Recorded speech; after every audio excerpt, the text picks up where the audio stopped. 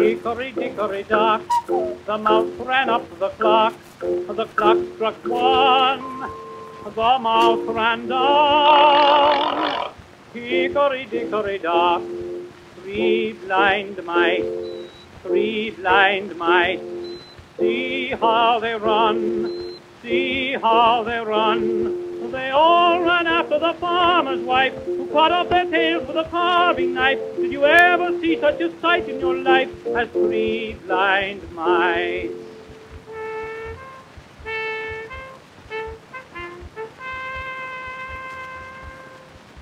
Little boy blue, come blow your horn. The sheep's in the meadow, the cow's in the corn.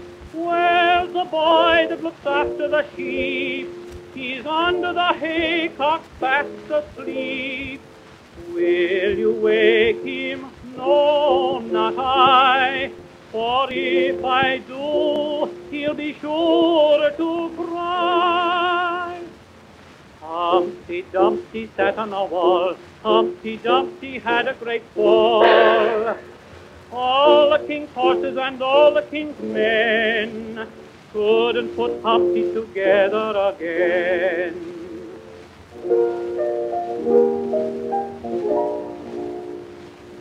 Jack and Jill went up the hill to fetch a pail of water. Jack fell down and broke his crown, and Jill came tumbling after. Up Jack got and home did trot as fast as he could caper. Went to bed to mend his head with vinegar and brown paper. Three little kittens, they lost their mittens and all began to cry. Oh, mother dear, we sadly fear our mittens we have lost. What lost your mittens, you naughty kittens, then you shall have no pie. Meow, meow, meow,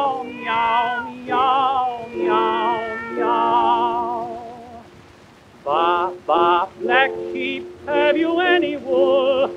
Yes, sir, have I three bags full. One for my master and one for my dame, but none for the little boy that lives down the lane. Tom, Tom, the piper's son, stole a pig and away did run. The pig was eat and Tom was beat, and Tom went roaring down the street. Sing a song of sixpence, a pocket full of rye, four and twenty blackbirds baked in a pie. When the pie was opened, the birds began to sing. Wasn't that a dainty dish to set before a king?